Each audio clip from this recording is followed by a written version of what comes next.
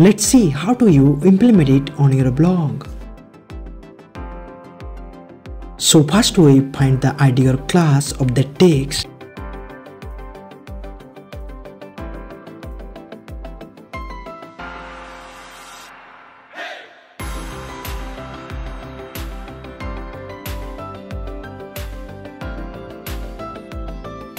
Now go to edit HTML then find the ID or class that you copied.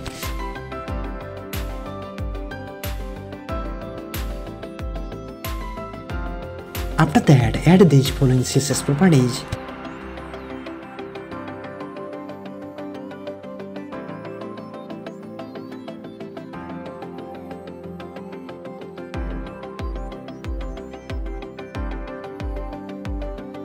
Finally, save your theme.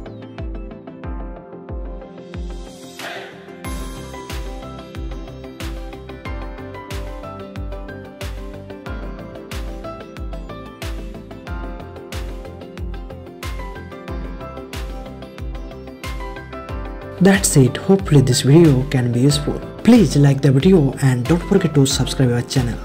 See you next video.